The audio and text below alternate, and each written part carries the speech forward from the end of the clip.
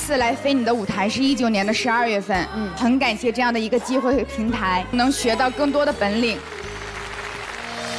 发完消息之后，我就给总经理拉黑了。拉黑了，同归于尽式的求职者。你为什么要讲这个故事给十个老板听？职场是双向选择，大家也能更清楚的知道我是一个什么样人。我有点懵呢。我喜欢你，但是我爱你。说实话，我有一点点心酸。你笑得越开心，我我 我的眼泪就越多。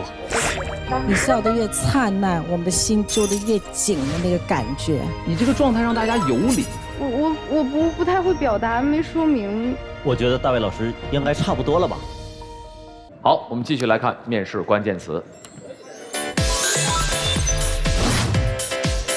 两亿，二百到两亿，一万。这第一个不会是视频的播放量吧？如果视频的播放量两亿也可以啊。或者是他的业绩从两百到两亿。呃，这个不太有点难，我觉得不太现实。你们为什么不想是二百到两个亿的负债呢？那也不太容易。嗯，他用这些数字，他想要唤起我们他的好奇心，然后他并不愿意只给。我觉得这个是一个有一点想要表现的人。来吧，我们掌声有请这位求职者闪亮登场。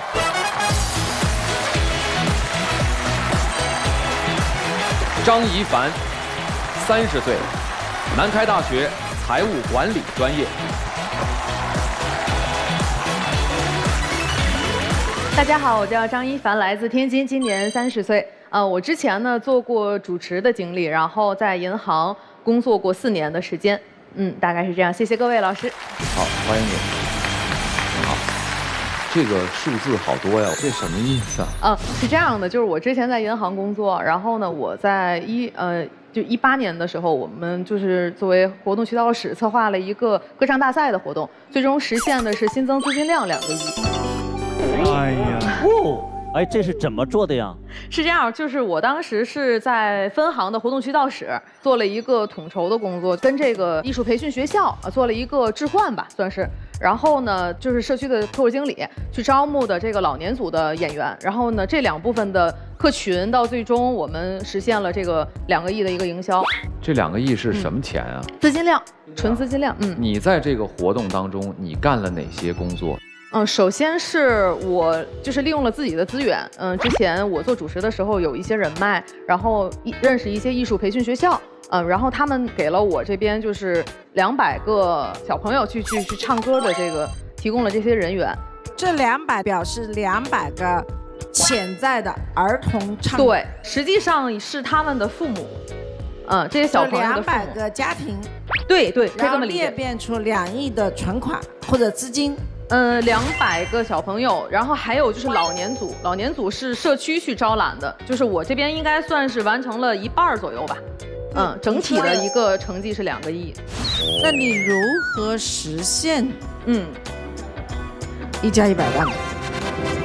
呃，是这样，就是首先他这个客户经理，就是我们社区的客户经理，他们去进行了一些营销工作。然后呢，我这边其实主要是艺术培训这边，我们会搭建一些营销场景，客户经理去到培培训的这个地方去营销。我虽然数学不好，我我再我再问一下，嗯，银行要搞活动，对，你帮他们找客户，对对对，小朋友和老年人，对对对，他们只要来了，嗯，就存了。对对对对。对，有存有存款，然后也有信用卡呀等等这些。然后最后银行的总收益，嗯，就是两个亿。对对，资金量，嗯。哎，大卫老师，我没没听明白。我问，我多问一句啊，多问一句，就是他们为什么要往银行里存钱？比如说我参加比赛的门槛，嗯，我的存款必须得达到多少额度才能参加这个比赛，是吗？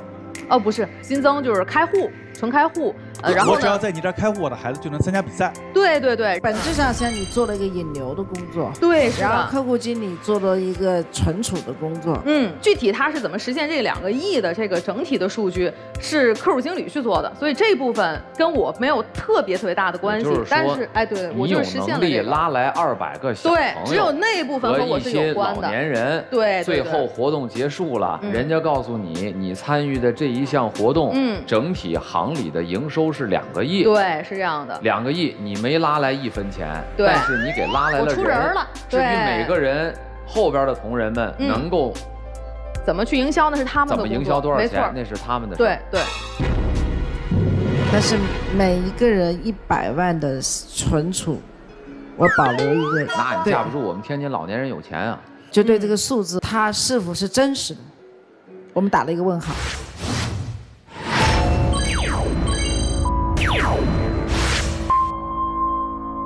他们比较关注的是数字这个相关的内容嘛，挺有意思的。就是觉得这些企业家朋友们，然后他们其实他们观点挺犀利的。我想说明一下，为什么我们对这个数字嗯这么追问，嗯是因为你跟我们讲的事儿，就是你把人找来，嗯然后剩下的同事在上面营销，产生了一个数字，但是嗯你是把这个数字打到你的关键词上面去了，所以我们要把这个问题问清楚。我们要基于两个亿去认识你，还是基于两百个家庭认识你？这决定了我们之后的面试走向。啊，明白，可以的。好吧，嗯企业家们啊，先天的对数据感兴趣，没有刁难你。明白，在银行的工作这四年，我成长了很多。有的是苛刻的领导。你第二个关键词是一万，嗯，我就担心了，一会儿是不是又要算数啊？没事，这能说清楚。要是算数的话，我得让我们工作人员给企业家们发草纸啊。那你后来为什么从银行又走了，又干自由职业去了？呃，因为组织架构一些变动，我当时从分行给我调到社区支行做业务了。嗯，然后因为这个事情，去哪个区了？去华苑了。华苑离我们家就是一个小时嘛，也比较远。那你后来回去自由职业做了什么呀？呃，还是商演的主持。还是商演？对。你怎么对商演这么感兴趣呢？哎呀，就会这个呗。你主持过什么类别的商演活动？嗯、就是地产的，然后 4S 店的，包括商场的，然后还有像年会啊、商会这些，天津的商场你主持过哪些？挺多的。像呃永旺，啊、永旺，个永旺？永旺西青梅江永旺啊前两天刚去，嗯、然后是，嗯陆家嘴儿，呃水国城、大悦城这些都有。挺好。哎，你主持过这么多商业的活动是吧？嗯线下的活动，你今天在这儿，你给我们即兴主持一下呗。行。我给你模拟一个场景哈。行，每年的夏季，嗯。我们海河传媒中心都会搞在咱们天津拥有着非常高知名度的融媒体粉丝狂欢节，嗯。是观众、听众、读者们和我们海河传媒人相会的一个盛大的节日。哦。假设现在由你来主持，嗯。你怎么主持？嗯。但是给你加一个小难题，嗯呃，你要随机的选一位企业家，嗯，跟你互动一下。行，可来以。准备一下，那我就把舞台交给你了啊！好加油，张一凡啊！好的来，我们掌声有请。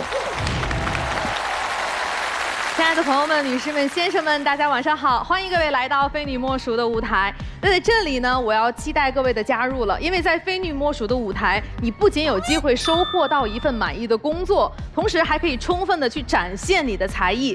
与此同时，有很多优秀的人士前来坐镇，你有机会听到很多经典难忘的大咖点评。我是主持人一凡，开心与各位相聚，谢谢各位，谢谢。那么在今天的活动现场呢，我还有一个非常好玩的环节，我想要有一个有奖问答。我想知道现场的朋友有谁愿意来参与？咱们参与就有机会赢得一份非常精美的礼品。哎，什么我奖我要参与。哎，我想请这位穿粉色泡泡袖这位美女，你可以吗？来，有请。特别特别的漂亮，一眼就看到您了啊！嗯，我想知道这个《非女莫属》这个节目，请问您知道吗？啊，我知道，嗯，那您知道它是在哪个台，然后在每周周几去播放吗？在天津卫视，嗯每周日和周一的晚上九点二十分。非常准确，大家给点掌声。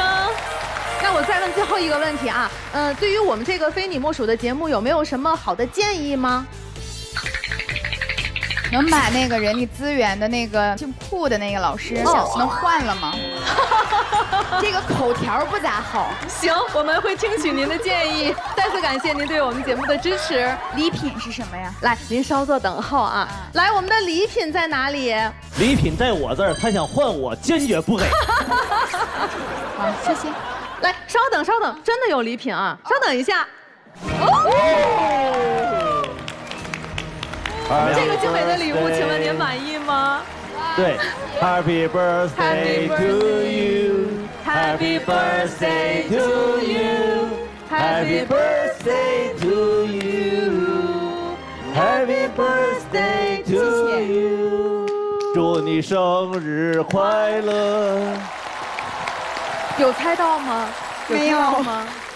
哇塞，谢谢节目真的你生日啊？今天是是真的他生日啊，是他生日，是我们美女的生日啊。首先谢谢节目组，然后好有心的惊喜啊！谢谢节目组，真的很感谢啊！然后永远年轻漂亮，生日快乐，事业有成。因为我第一次来飞你的舞台是一九年的十二月份，然后到现在也有三三年的年头了，啊，然后这三年一路走过来，其实飞你给我最大的感触就是我在我平时日常的生活交流，然后我的环境中，我是接触不到。这样，这些企业家、这些老板、这些行业的，也就是说，我来这儿最主要的一点，除了是能为企业招聘到优秀的人才，更可以向各位企业家们和我们节目组、和我们大卫老师和我的酷哥，然后能学到更多的本领。其实很感谢这样的一个机会和平台，嗯，还是感谢谢谢大家，再次谢谢。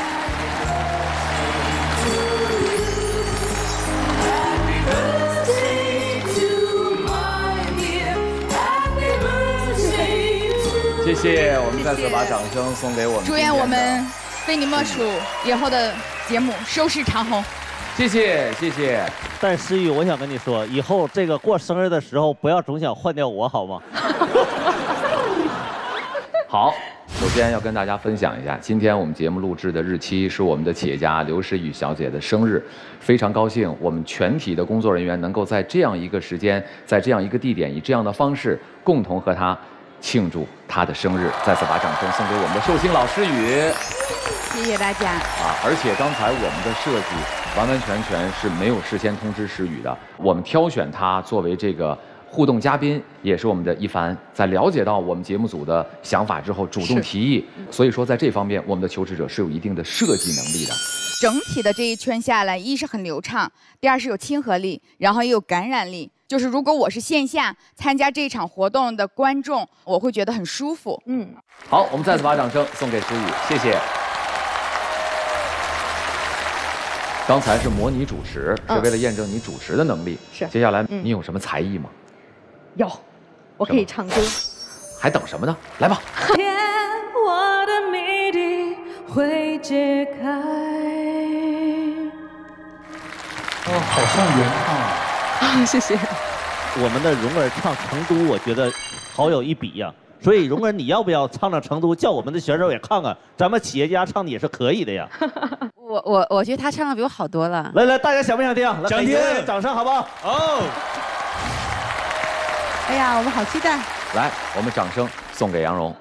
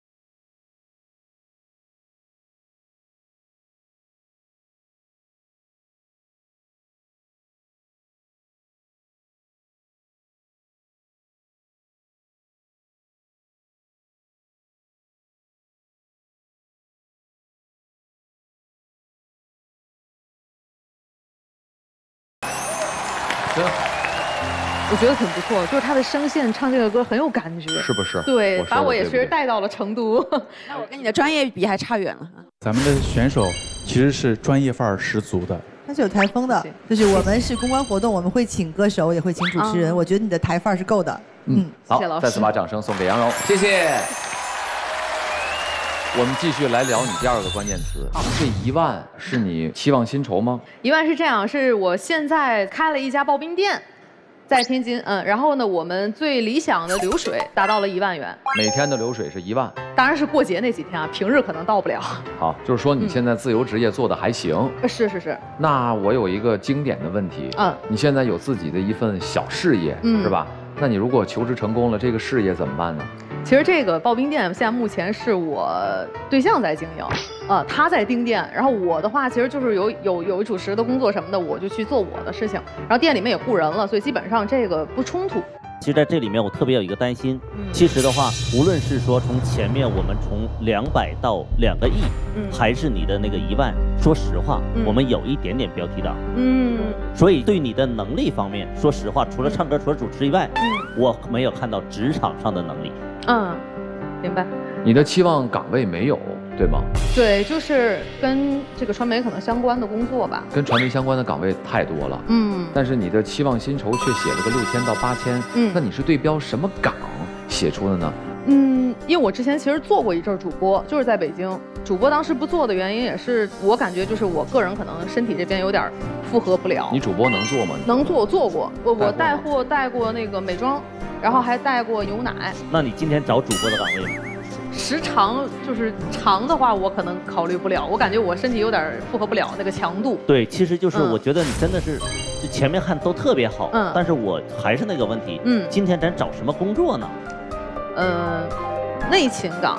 但是呢，就咱不是。或者是外联，嗯。对你能不能给我个具体的岗，或者你哪怕你给我说出工作职责来也可以。呃，外联吧。就什么叫外联？哦，就是。对接渠道啊这些的，算了，别问了。那个，我我给你个建议吧，我建议你不要去到公司里来入职，因为你看，就像你刚才唱歌的那个蒲公英一样，自由自在的多好。你为什么要到公司里面去受制于人？因为现在今年也三十了，然后也要结婚了，所以说也是想着呃稳定的工作。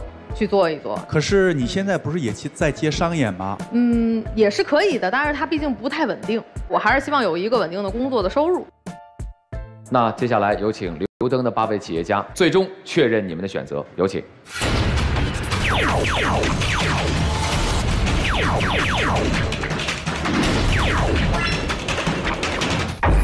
还剩一盏灯，进入到谈钱不伤感情，有请。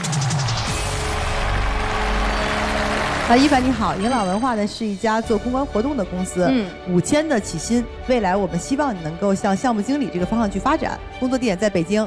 呃，我想问一下，咱这工作时间是什么时候？我们正常的时间就是早上十点到晚上六点，哦，啊，但是呢，因为我们是项目制，在忙起来的时候，我们可能就是各种通宵，哦，但是一旦说最近闲的话，我们也对大家没有没有没有要求，嗯，就可以尽情的休，但是呃，我们会需要你长长时间留在北京。哦，明白了。好，考虑一下，张一凡选择迎朗文化或者谢谢再见，计时开始。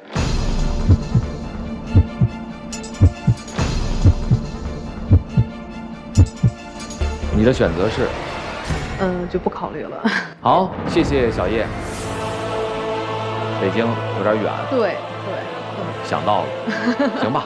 但是今天你的面试倒是给大家展现了我们天津的这个商务主持这个群体当中啊比较好的一个平均水平。面试结束以后别走啊，去我们的化妆间吃一块蛋糕。好的。虽然这场不成，但是他应该是我以后在天津要做活动的时候的这个主持人的备选了。好的，那就祝你们合作愉快。好，谢谢一凡。谢谢。再见。再见。心态还是比较平和。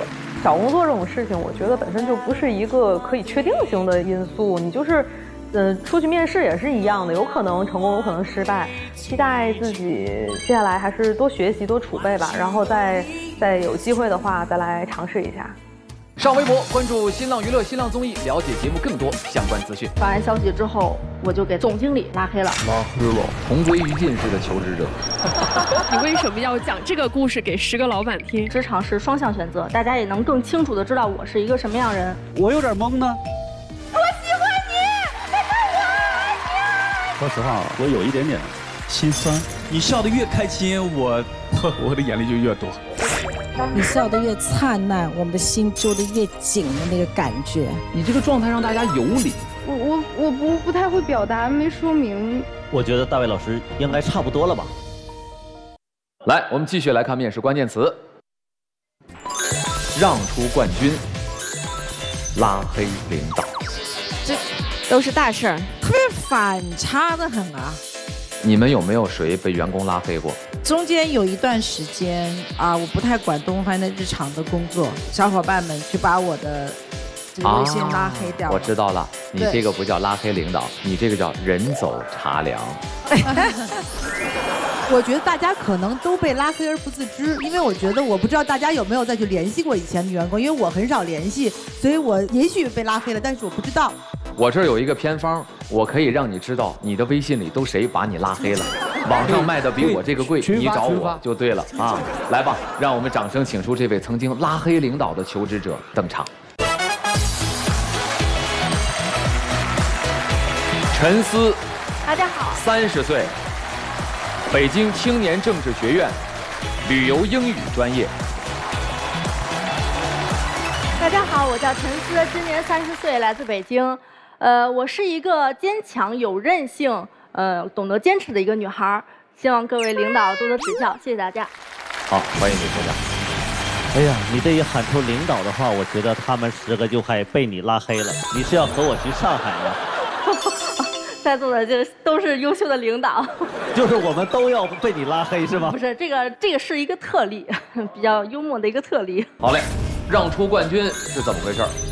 二零一六年的时候，我当时从事的是金融的一家上市公司，从事两年信贷资产管理，也是获得了比较不错的成绩。因为我们每隔两个月会有一次考核，前三名有不同的奖励机制。当时也是组里跟我有一个关系很不错的一个同事。跟我就差一点点数据了，然后他是想给他儿子买一个文具桌吧。我算了一下，如果让出这一个月的话，对我整体的数据是没有什么太大影响的。所以我就是觉得何不成人之美，而且我们之间的关系确实很不错。他有找到你跟你说这事儿吗？没有，就人家没求着你这事儿。对，但你知道他有这么个想法和心愿，所以我就是自己主动的。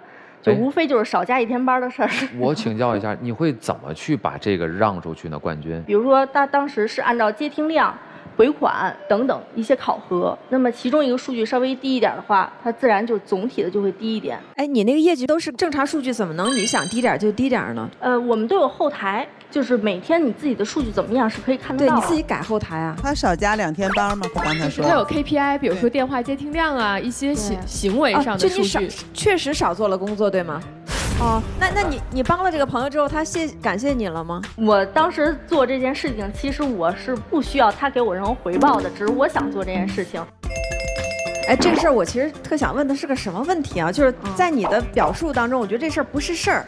我能帮你一把就帮你一把，但你今儿把它写在关键词里了，就是这事儿在你这儿还是个事儿。我觉得这个是一个很大的事儿，很大的事儿。对，因为在公司的考核里面，其实有很多的销售人员就是会去做这样的一些业绩的所谓的调剂。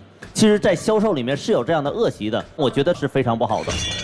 也就是对于公司的利益来说，当然他少干了几天或者两天，就公司的利益会受到影响。是，但是有 KPI 就会有这样的一个指挥棒效应。我觉得就像是货币的两面，有正面它就会有负面。就像运动员一样，我永远要去思考的是我怎么样能够去拿到更多，而不是的话，我要在我的公司内部怎么样去算计。我特别同意小陈的心，我觉得你让出了一天的利益。但是有利于整个同事的团结。曹曹鑫，我完全不同意啊！我觉得曹鑫你是年纪大了，偷换概念。因为在企业内部里，尤其做销售的时候，他会有销售的激励政策。如果我们去纵容这样的一个行为，他就会把三个人单码成一个人的单，或者这里边他就会做各种排列组合。没错，这个里边在我们的公司里面，只要发生一例，我就曾经开过。我觉得这里就是在研究政策的控制。企业里边有些规则，就希望大家尊重企业的规则。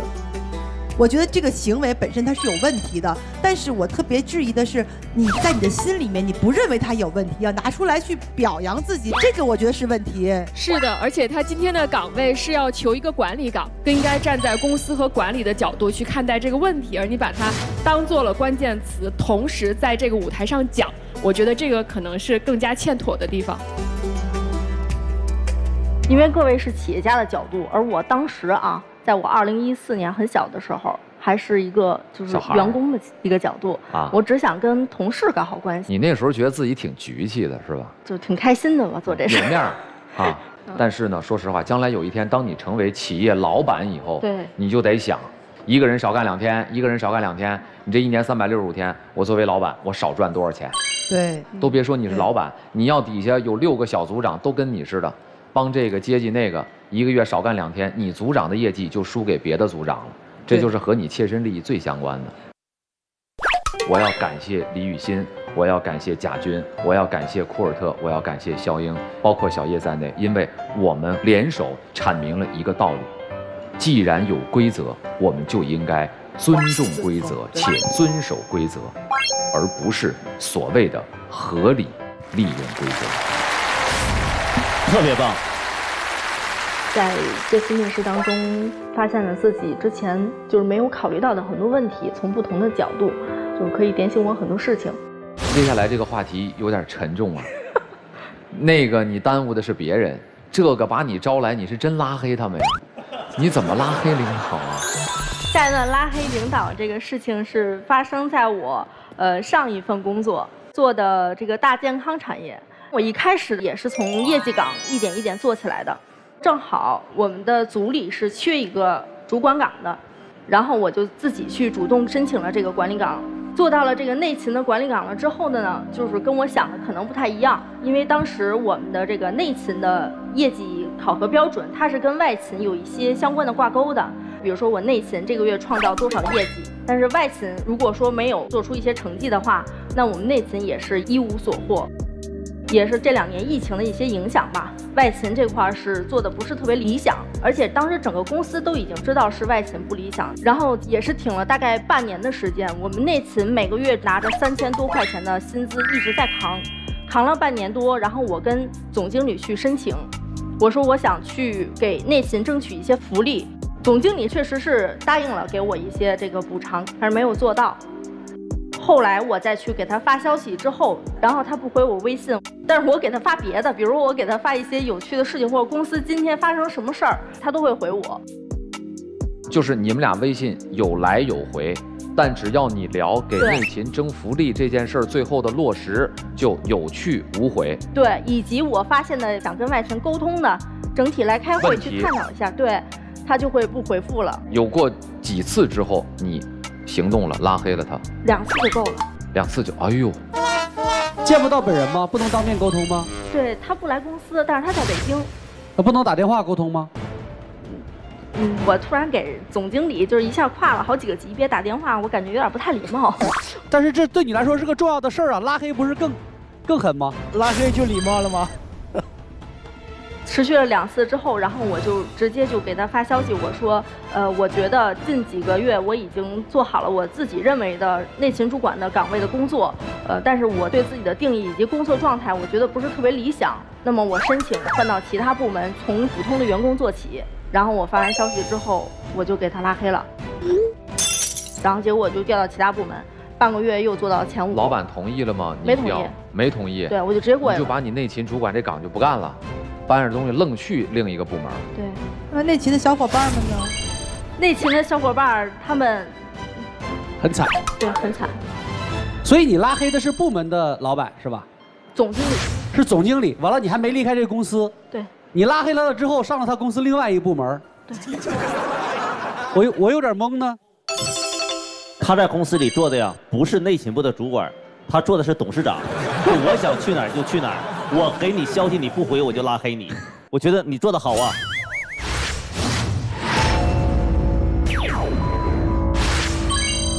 你到了那个部门以后发生了什么？我就去了隔壁的组，然后我半个月又做到前五了之后，发完奖金之后，然后我就直接就走了。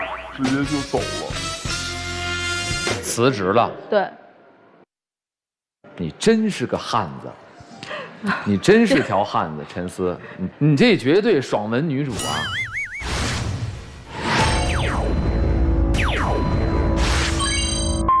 陈思，我特别想知道你为什么要讲这个故事给十个老板听，就是你的目的是什么？就是要我们灭灯吗？啊？嗯，不是，我觉得我在分享这个故事，我也希望大家在，就是因为职场是双向选择，大家也能更清楚的知道我是一个什么样人。我给你起个名儿哈，你是我近一段时间以来见到的同归于尽式的求职者。就是，哎，我跟你们说啊，我觉得他今天来面试，就是我只要说爽了就行，登和岗位，哎，不在乎，随意。但是啊，我就想跟各位企业家探讨一个问题，就像他这种能力和个性都很突出的员工，你们喜不喜欢？有点害怕。我觉得一言不合就拉黑这个事儿，反正我接受不了。我是不太能接受能力和你的脾气不匹配的人，两段你的关键词我都心里打一个问号的。我觉得如果是公司内有个性的、有人的员工，对，我们都是能包容的。但你的问题我更正一下，你不是个性，我觉得你是在整个的你的职场道德和你的底线，我觉得是比一般人要低很多。哎呀，这个帽子有点。这个有点大了，大了。我也想提醒一下各位企业家，就是你们的时间是时间，我的时间也是时间。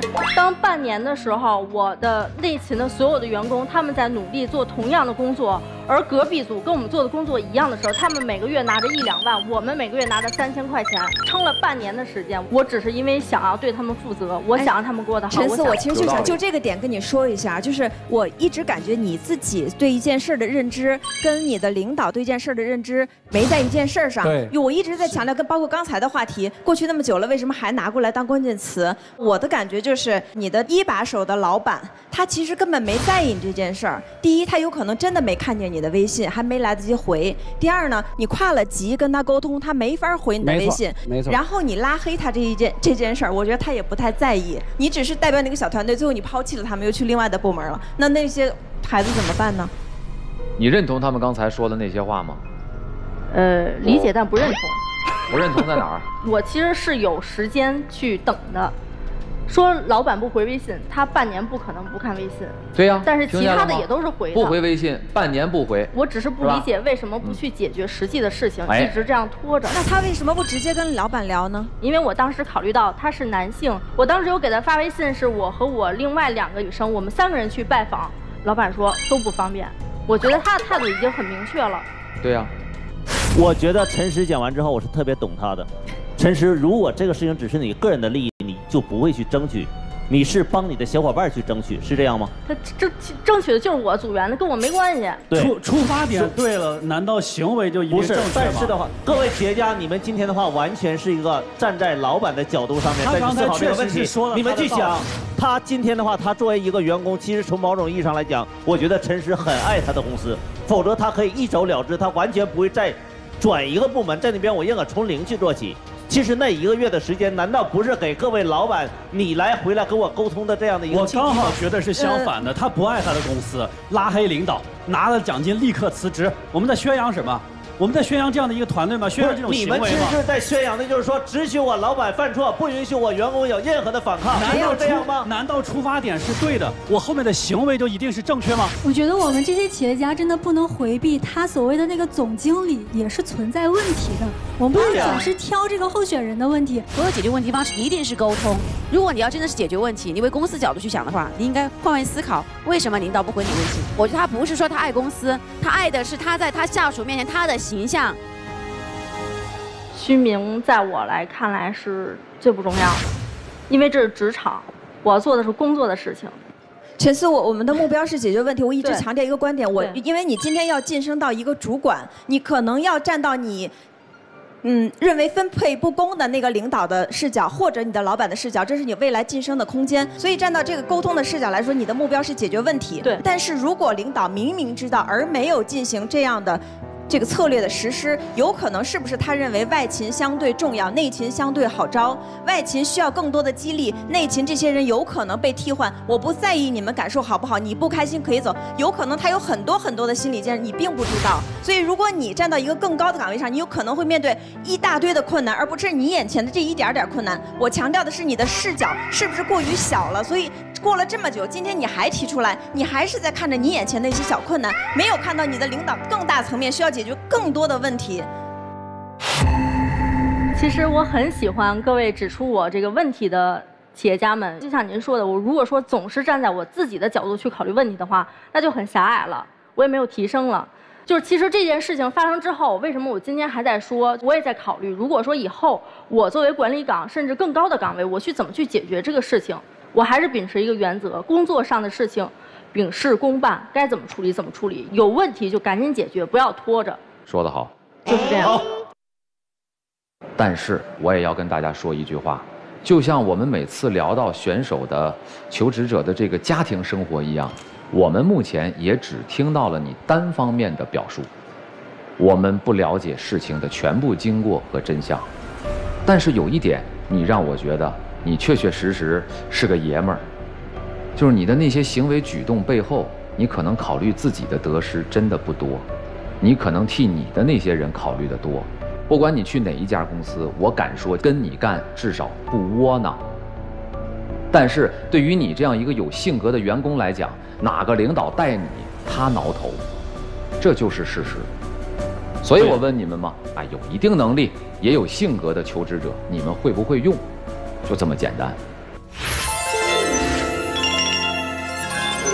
发扬自己的个性是没有问题的，但职场呢，实际上它不仅仅是一个个人，它是一个集体。那如果未来想在职场当中去发展的话，必定要去发扬自己个性当中对于这个公司也好、集体也好产生利益的部分，而去适当的隐藏自己个性当中呢，就是呃过于这个有张力的那一部分啊。当然，这个事情另外一方面是呃，其实有能力的求职者是企业需要的啊。那作为老板而言呢，如何去？呃，引领、辅导和用好这样的下属，其实更是一门功课哈。像他昨天遇到的这个问题，如果他的这个上级领导能够有一个很好的沟通和引导的话，那后面的事情其实也不会发生。来看你的职场情商课，你刚升职，同事说你工资这么高，请大伙儿吃个饭呗，你会怎么办？我先看一下这个同事有多少人。如果说只有十人小团体的话，我觉得这是一个好事儿，也希望通过此次团建拉近大家的距离，开展未来的工作。如果说这个同事是可能就是上百人或者是几十人那种的，我觉得刚升职去做这么浩大的事情也不太稳妥。哪怕是你点一个奶茶给一百个人，这样都太比你更高的人还没有做这样事情了，我觉得这样不太合适。姑娘，如果有几百个人手下。你你请个茶也乐意啊？就你这官得升多大呀？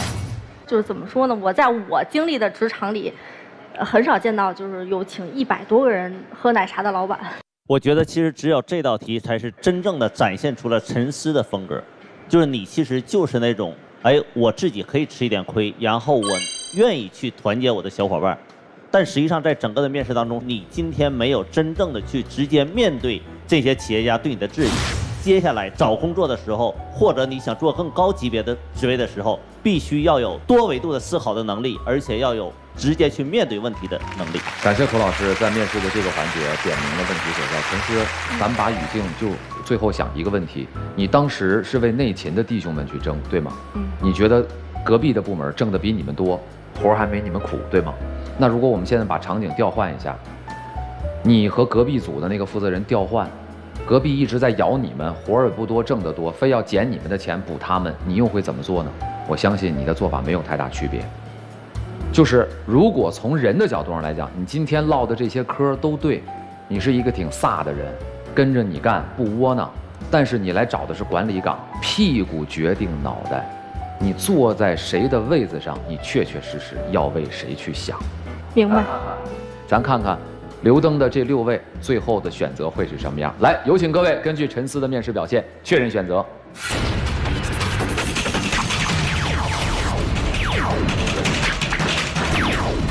你们一顿挺的，很遗憾，虚伪虚伪。最后是这样的一个结果。我应该为我的个性买单，所以这个结果我是接受的。挺好，这句话我觉得前后你整场的人设比他们都鲜明。我觉得陈师，无论他们怎么选择，但我今天想告诉你的，如果你愿意跟我去上海做销售的话，我愿意给你一个岗。我愿意给你一个岗。薪水五千块钱，你专门是帮我去联系中国的在各个城市排名在前三的猎头公司。如果你愿意的话，可以跟我去上海。我欣赏你，而且我会叫你懂得在职场当中如何去处理问题。在我们的节目录制规则当中有这样一条：当台上所有的企业家都灭灯之后，如果我们的人力专家对求职者感兴趣的话，可以提供岗位。我也会像正常的求职一样，给你一个机会，你可以问他一个你最想问的问题。我就想问您，刚才我说的拉黑领导里，如果是您的话，您当时作为我这个岗位，您会选择怎么做？因为当时我记得这个问题的时候，就是现场的所有的企业家反应最多，而且途中灭灯的最多。所以我就还是想问一下，看看其他人的一个想法。我如果是你这么大的时候，我可能会选择直接去找老板，甚至我会敲他的门，但是我不会用你的方式去处理这个问题。明白。好，考虑一下啊，来，计时，开始。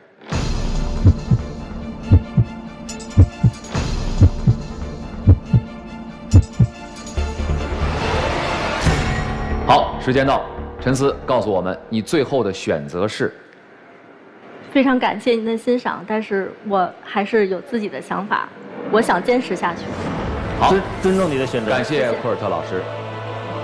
好吧，一个非常有个性的求职者，今天然后我们感受到了职场上的一股不同的风气，但是我觉得就事论事儿，对的继续坚持，错的以后要改，好吗？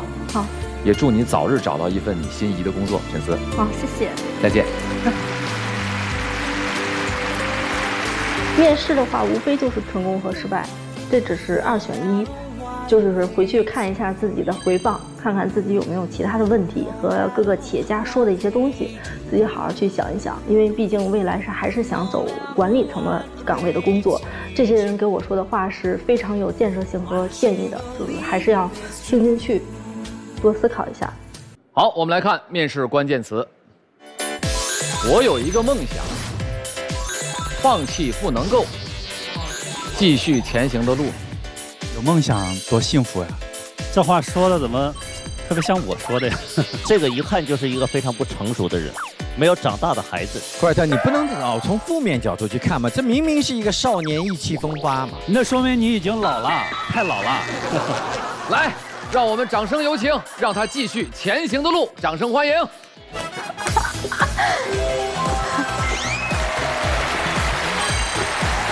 侯小雪，二十四岁，辽宁传媒学院网络与新媒体专业本科学历。妹子，你下来呀？啊啊！大家好，大家好。对，你下来呀。我合计我我没打完招呼呢。主持人好。你好，小雪，请做自我介绍啊。呃，各位企业家好，然后呃，各位呃，我们好啊，你们好，你们好。我的名字叫侯小雪，我的性格乐观开朗可爱，嗯嗯，就这样结束了，呃，没有自我介绍结束了。好，谢谢大家。欢迎你，姑娘啊，来，请把报名表交给我。在上台的时候，我听到一声笑声，是你的笑声吗？是我是我。哎，你怎么这么高兴呢？呃，就就兴奋呐，就就觉得挺好玩的呀。你是来玩的呀？没有没有，我是以玩的心态去参加这个，会会表现的更好吗？啊，然后我问问你，俺仨是干啥的？观察员。观察员。啊啊，然后你所有人都问好了，隔壁那个你好像连问好都没问。不好意思，刚才有点紧张。没事没事。小雪，你看过我们的节目吗？看过一点点，你并不了解那三位的身份，我给你介绍一下。从右向左，分别是我们的人力资源专家刘畅老师、库尔特老师。最左面的啊，是我们的职场观察员、歌手潘超。啊，希望你这个时候要向他们三位打个招呼。啊，你们好，你们好。你好，辛苦了，辛苦了，辛苦了。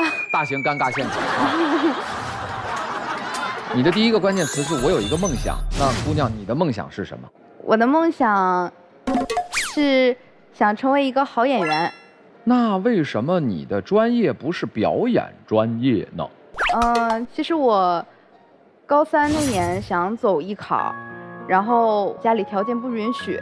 学艺考的时候，我那天想去听课，然后我妈妈就用双手去拦着我，就不让我听，因为我妈妈也是没主意嘛。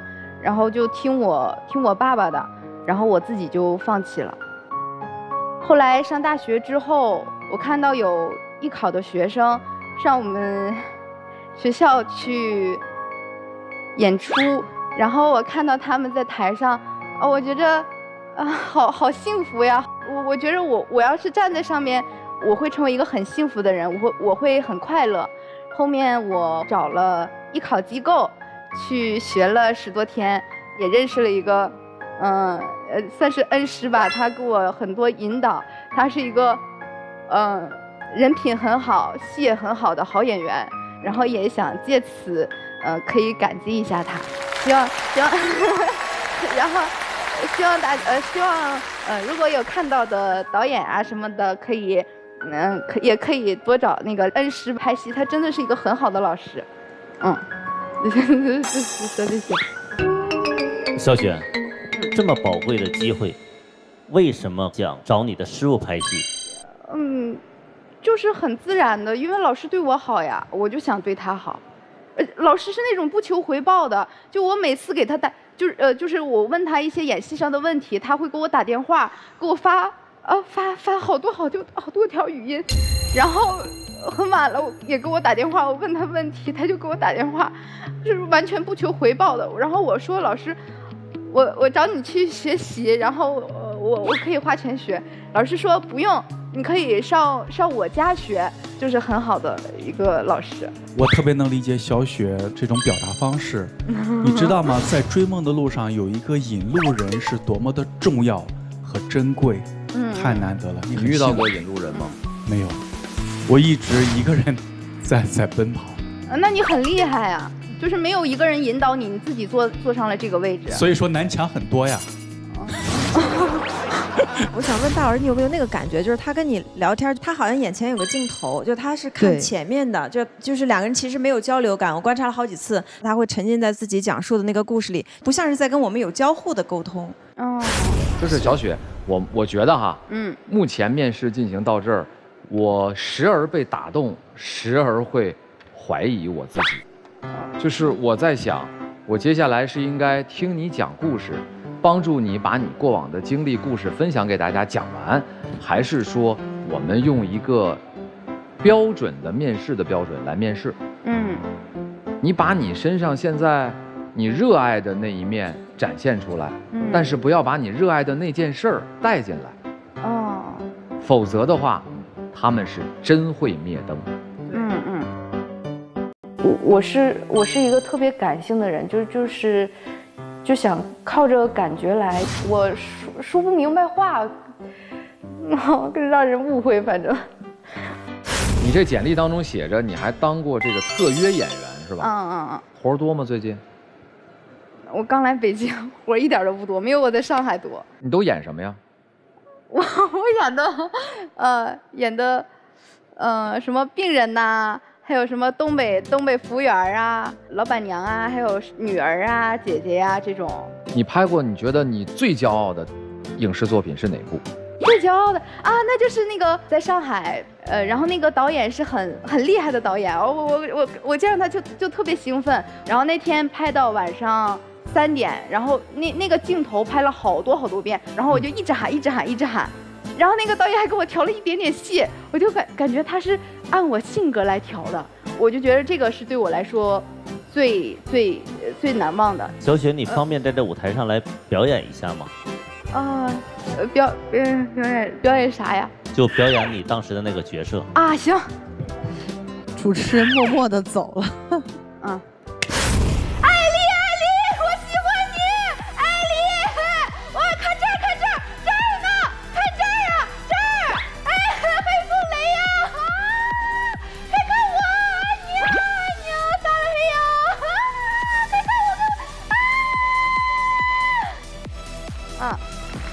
演一个粉丝，你能有机会在我出席的地方就你一个人就行，演一下我的粉丝吗？行行，一个人演出了千军万马的气势，真的，以后我到哪儿，我吃早点我也要喊着你去 啊！小雪，你去的之前跟我说一声，姐赞助你几个大佬的灯牌。行行，那个，其实我看完了，说实话，我有一点点心酸，为啥呢？因为他说。这个让他是印象最深刻的一个，其实这就是一个群演，我觉得这个算不上特约，这是一个很简单的一个群演。我只看到了一个很浮夸的一个表演，对你的演技，我觉得无从判断。我是从另外一个角度感受你的表演，我觉得你有热情，你珍惜每个机会，就算是几秒钟一个很不起眼的角色，但是你很认真，这一点上我是认可你的热爱度的。但是回到你今天面试这件事儿，你这报名表写的有点儿，说实话看不太懂。嗯，外语东北话。啊，外语写个东北话是吧？而且呢，姑娘，你意向岗位、意向企业、期望薪酬、期望工作地点，一个也没写。你今天来找什么岗？就是和和艺术贴边一点的吧。好多都是艺术啊。和艺术贴边的，那这就太大。真的是，嗯，就是贴一点点边儿，我就很开心。小雪，我告诉你什么叫职位，模特叫，演员叫。你说的和艺术相关，你就告诉我具体的，你想找的工作是什么？你还听不？你是听不？我我能听懂，我但是我没有办法描述一个具体的。那你有意向的企业吗？嗯，嗯。旅游方面的那个还还比较好，好。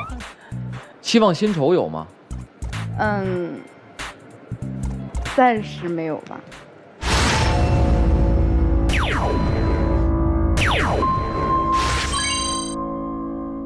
小雪啊，呃，就是我给你个建议吧。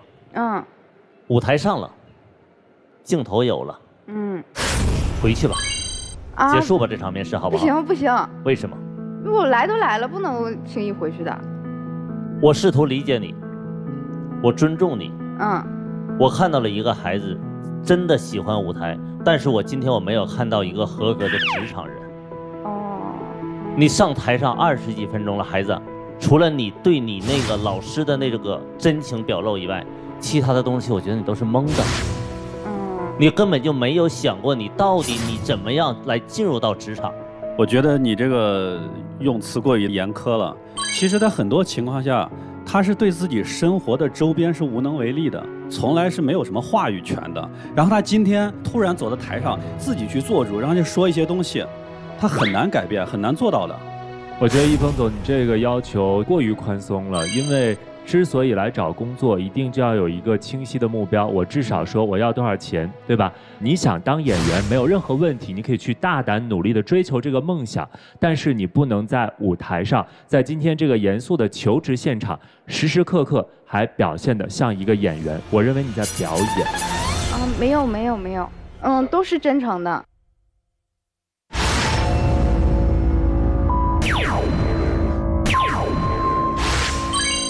小雪，我帮一下你吧。演员有一个每一场戏都有一个最高任务，你今天的最高任务是什么？求职。对，为此你做了哪些准备？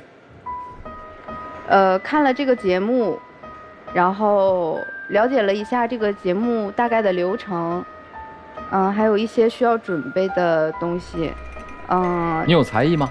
啊，有。好。我们先让你把才艺给我们看看，可以吗？行行行，来，掌声欢迎。正月里来是新年儿啊，大年初一头一天儿啊，家家团圆会呀，少的给老的拜年儿啊，哎呀，然后呃就是一个小串场，我后面是我正式的节目，因为我是东北人嘛，就展示展示一下东北人的特色。不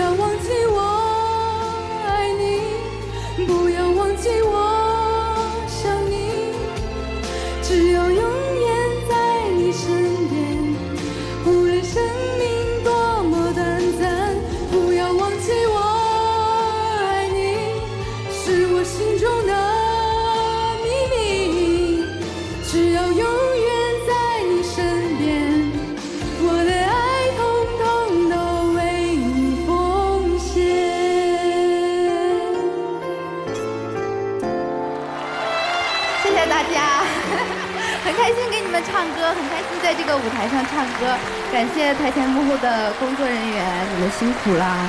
录节目就是呃是一个特别辛苦的工作，嗯，谢谢。这情商比我们制片人强多了。这还我们这录完了，有的时候他都不会拿着话筒说：“大家辛苦了啊，这录节目大家伙儿都怎么地哈。”那情商不错，给他鼓鼓掌吧，来。但是我就有一个小问题，就是为什么上来的时候先跳一个二人转，然后突然再唱一首歌？这个是你的设计吗？是有一点小设计的，呃，就是呃，你看一个欢快的，然后再加一个呃，之后接一个比较抒情的，就会有一个反差感，觉着会比较呃好，就是会好看一点吧。串烧。对对对对。在东北有一道菜叫乱炖。你上来那个二人转，然后再切换到唱歌，这感觉就像今天整场那面试一样，就是是一个有点疯癫的状态，忽然变成一个正常人，然后再切换回来，可以另外一种聊天状态跟我们聊天，有一种说我找不着我自己在哪儿的感觉。我有一个专业名词叫做跨服聊天。对，我觉得如果你前面那段发挥，全场还都亮着，这是非常不正常的事儿。嗯，确实是我。在这个求职的方面，目标不准确，准备的也不够充充分。但是我可能年龄大大一点了，然后我我还是想给我家人更好的生活。呃，要是有一个好工作的话，我也，我也会很开心的。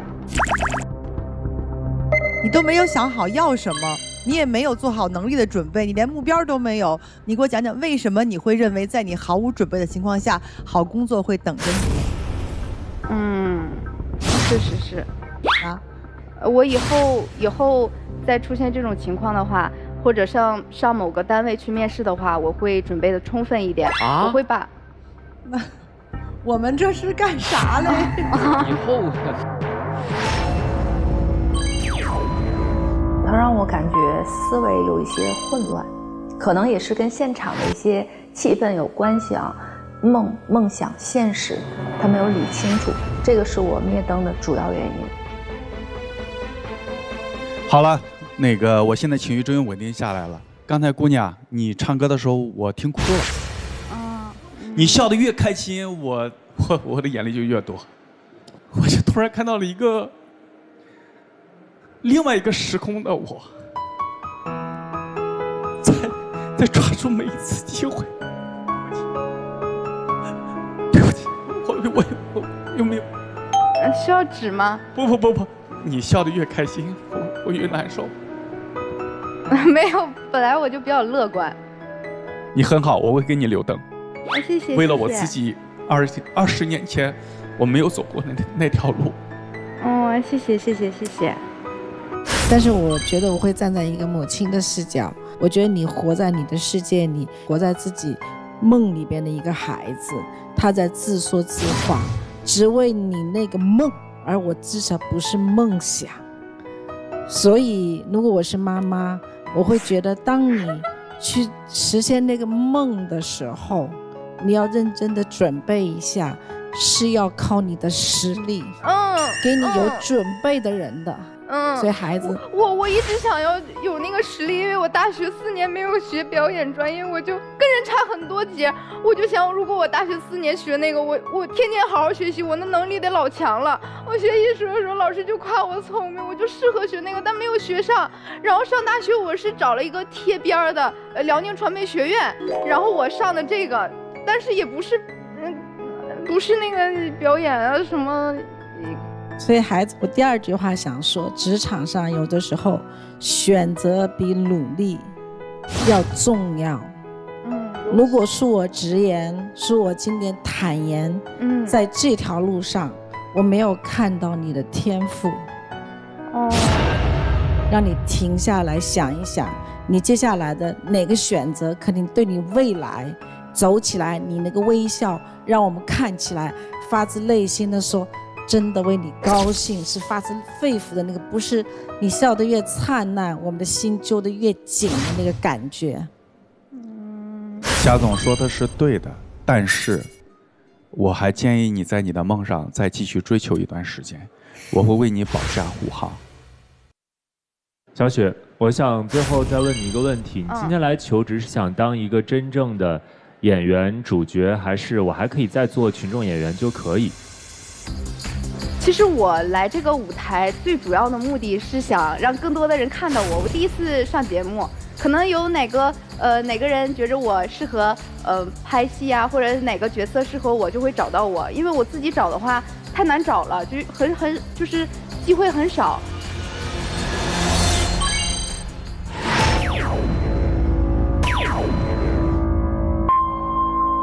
侯小雪，你刚才说的话，我如果没听错的话，你是希望今天通过天津卫视《非你莫属》的舞台，能够让电视机前那些有演艺资源和能够赋予你演艺机会的演艺界的相关从业者，发现你的演技，并且赏识你，给你更多的机会，而不是接下来要给你留灯的非你莫属的企业家，是吗？因为我年龄也到了，我我我我很矛盾。你当着一个即将要给你留岗的企业家的面说，我今天来就是为了让更多的人看到我。那你告诉我，对于杜远志来讲，你刚才这个回复，哎，是不是有点不礼貌？哦，嗯，哦。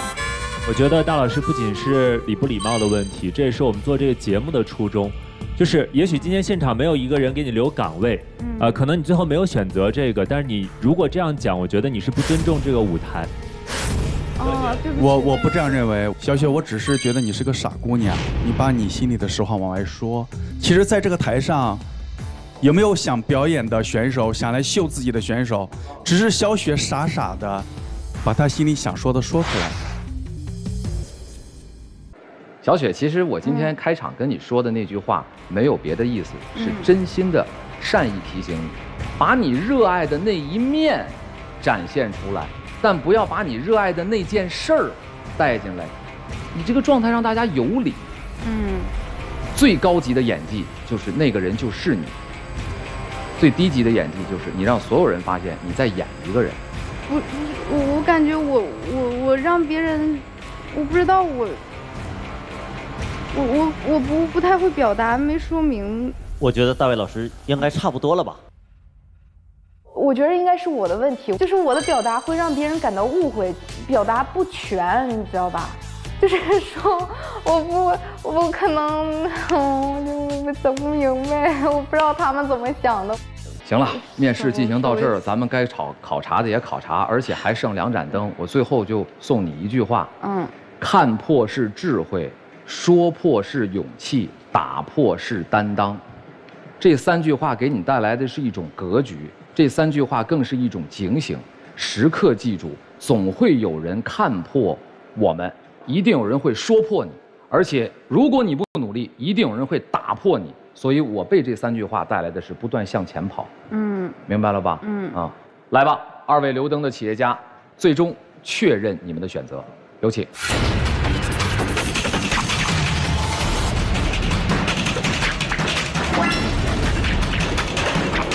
祝贺你，小雪！还剩下两盏灯，进入到你今天面试的最后环节——谈钱不伤感情。来，有请二位。嗯，小雪，六人游定制旅行给你的岗位是主播，四千北京。然后我再给你一个额外的福利，只要你完成了我们约定的时间段的主播，我允许你请假去一段时间，拍你想接的戏。我现在给你这样的职位，这样的薪水，是支持梦想的。考虑一下。在六人游密拍传媒之间二选一，或者谢谢再见，倒计时开始。嗯，嗯，好，时间到，求职者，你的选择是？嗯，就是那边，就是那边。好，祝贺侯小雪求职成功，也恭喜乔西。去吧，跟二位企业家握个手。啊，好。